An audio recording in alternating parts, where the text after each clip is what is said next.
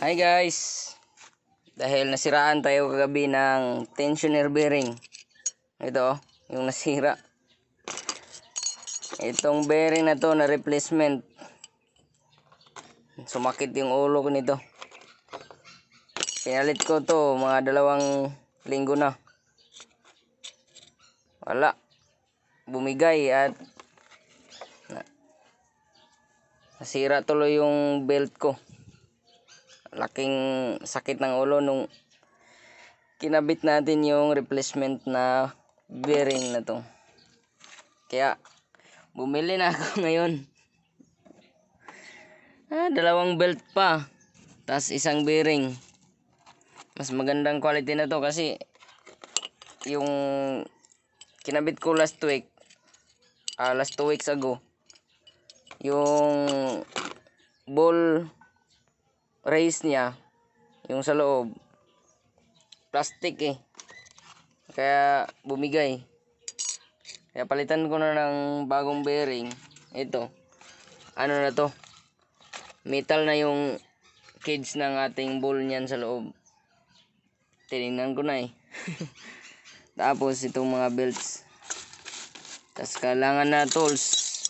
Ito lang 12mm, 10mm. Tsaka 10mm na Allen wrench.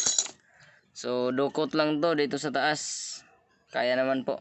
Katulad nung kagabi, nung nasiraan, dito ko lang rin dinaan.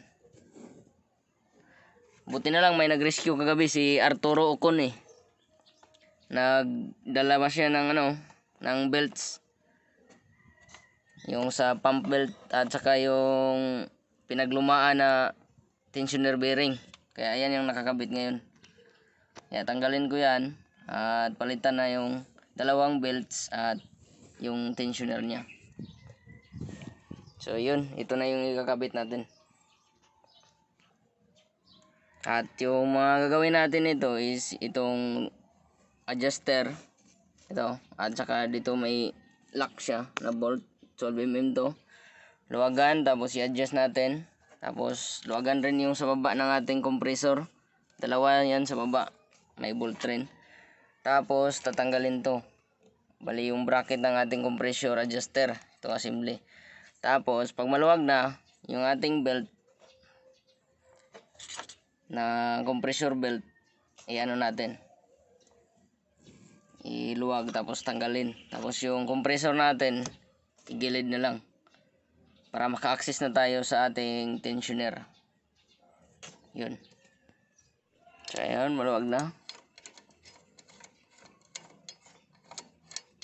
Yan. Tapos ito naluwag na rin.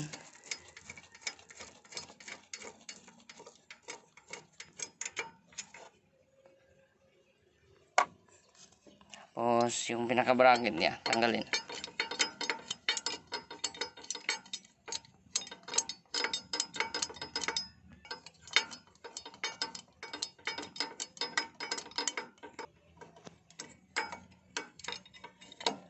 Iyon.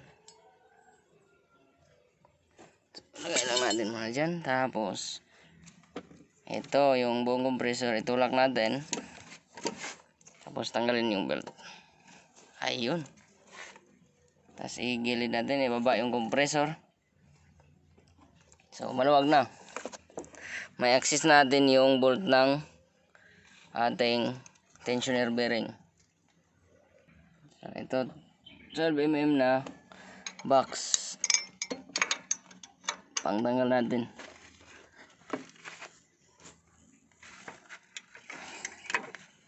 Yun.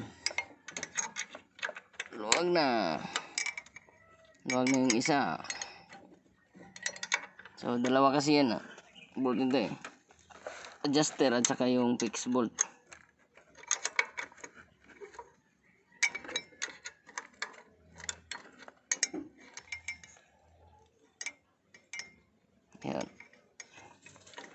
maluwag na ang ating tensioner. So tanggalin natin yung adjuster bolt.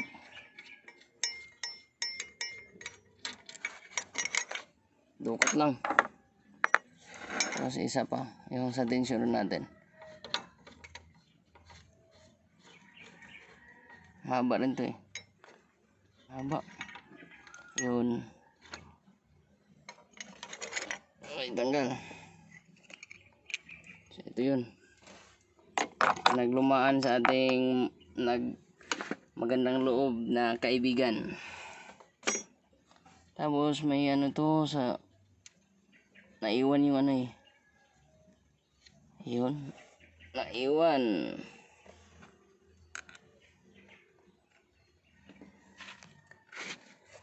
So, pwedeng mong madukot na yung ating belt. Ito. Matatanggal na to. Tanggal na. So, ito na guys, yung pump belt na bago. 5PK 940. Yung bando po. So, 5PK. Yan. Lima yung ngipin o groove sa ating alternator belt at water pump. So, inner po ito. Sa inner. Kaya, pasok muna natin to. Ya, dukot. Dukot. Pero doon sa kabila to ilagay natin para kitang-kita doon sa ating water pump. Tapos, Itong isa yung sa inner rin. Yung bago rin tong belt. Yan o. 4PK 765 bando. Yun. So, lipat muna tayo sa kabila. So, dito guys. Yung ating water pump. So, dapat ilagay natin dito yung belt. Yung inner belt kabit natin medyo may kahirapan. Ayun pumasok. So lipat na naman tayo doon sa kabila. So ito. Yan pumasok na. Dito sa alternator side okay. Then sa crankshaft side pulley. Ayun tama. So ilagay na natin yung tensioner. So ito man yung luma. Dito yung bolt. Dalawa. Tapos itong bushing na guide lagay natin to sa bago. So yan.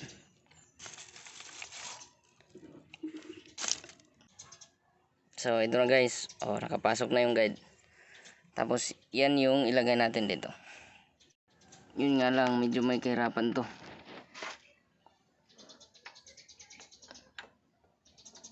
Pag may pasok na yan wala nang problema. Ayun oh. Pumasok na so isure na lang kung tama ba. Tapos ang gagawin naman natin ay yung bolt niya sa adjuster. So ito yung luma nating bearing no? Kasi yung guide dito banda yon dito sa ito na side. Dito sa likod. Yan. Tapos itong bolt na to dito na side. Sa adjuster side. So yun yung ipapasok natin yan. Hanapan pa natin. Dukot lang eh. Yeah. Magaling dapat magdukot. Hanapin yung butas. Asan ba yung butas? Ito.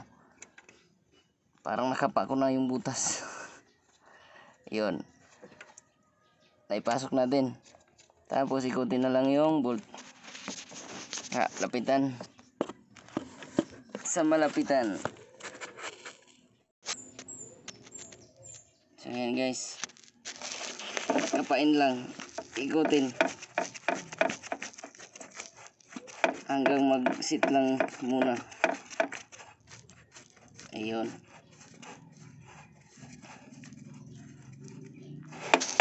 Ayan siya. So, sa adjuster side na siya. Tapos, ang gagawin, ito na naman. Yung ating alin na 10mm. So, ipasok mo dito sa paano ka mag-adjust. So, itong ito na side. So para maikot mo tong tensioner niya. Yan po. Pag angat mo niyan, so na-adjust na yung belt tension. Pero dapat may naghihigpit dun sa ano. So yun, ito yung gamitin mo sa pag na-adjust mo na yung adjuster. So higpitan mo dito sa taas. Yan, ganyan. Pero hindi ko kaya eh kasi nagawak pa ako ng camera. So ipakita ko na lang pagkatapos. So ganyan guys. Iangat mo tong ano, nangat tong alin niya. Tapos ito yung maghigpit sa isang adjuster bolt. Yun. So, ang nangyari, yan o. So, ang belt natin, i-double check natin kung tama yung kabit. Tapos yung tension niya. Yan, i-check natin. Yan, ayos naman. So, final na lang sa ating tensioner. At saka may isang bolt pa yan. So, ito yung dun sa ating allen side. So, yung sa guide. So, yun yung kabitan rin natin. Yan o. Yan. Kasi tama na yung adjustment nating bolt eh. So, sabay na maghigpit nitong dalawa. Final. Yun oh. Hihigpitan. At hihigpitan. So, ang tama lang para next time yung gagawa. Hindi naman mahirapan. Dalawa ng bulto eh.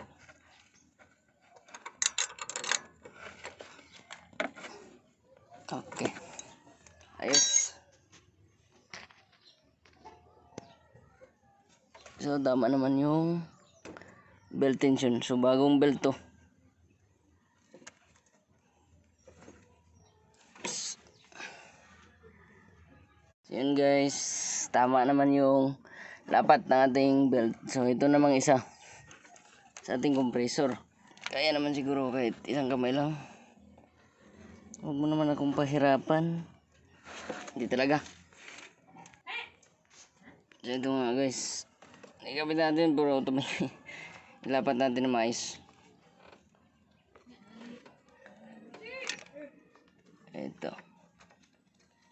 Dapat nakalapat yung purpike. Apat na ngipin. Yan. Ayos na to.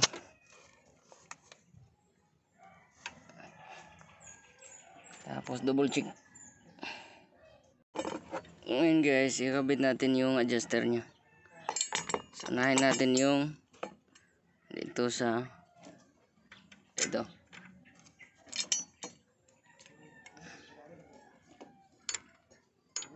D. Dito guys, oh. Yan. Kamay dikit. Tapos dito. Sa adjuster side sa baba.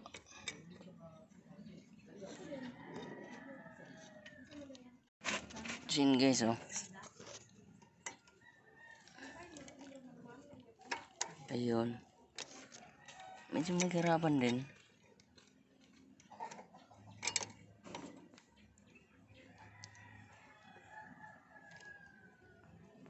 So yan. Ikabit na natin. Ihigpitan na lang to.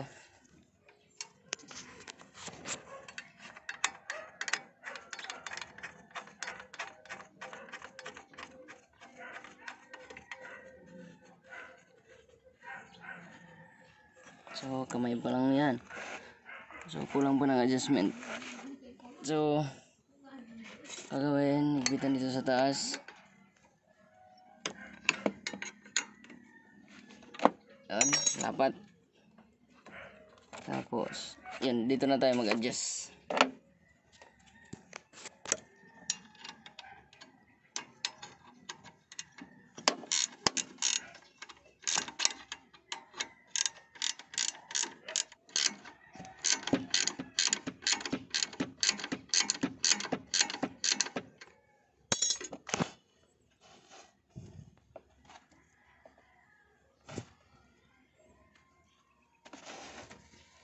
Double check ng mga belt. Okay.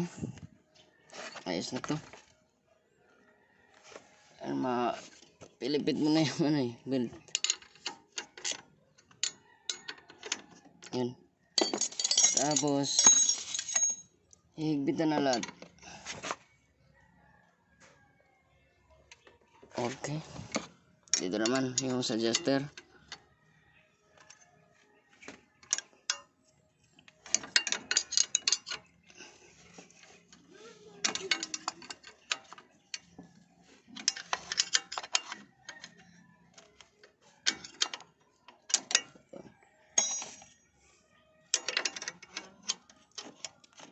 gamitin mo talaga yung mga tools mo. Ay kasi may medyo masigip eh. Hindi rin kaya ng sakit rinse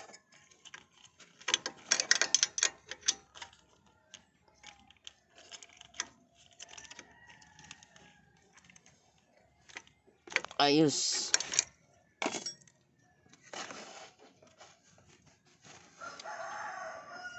Okay. Tapos sa ilalim, ibitan natin to.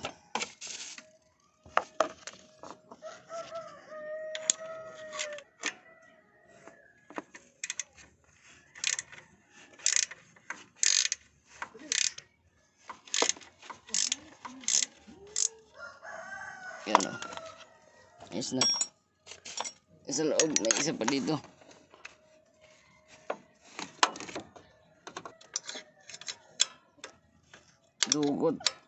Parang memorize na. ah.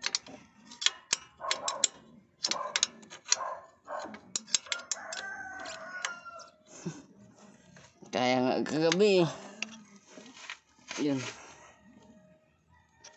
Ano dito?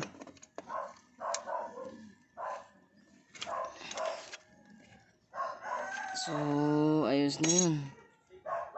So, ikabit mo na pala yung mga ito konektor ng ating compressor. Tapos yung harness dapat baibalik sa tamang kalagyan. Yan. So, ma-start na natin to. So, ito guys. Na-double check na natin. Wala namang naiwan. So, start na natin to.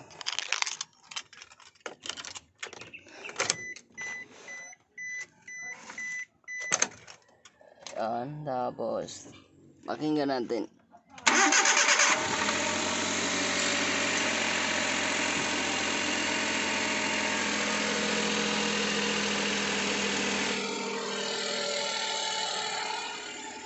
Ayos.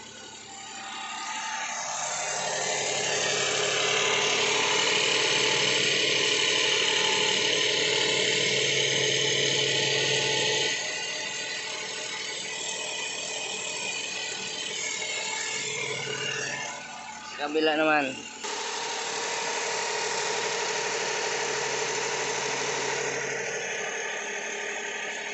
Okay. So, yun po guys. Salamat po sa panonood at sana may natutunan po kayo.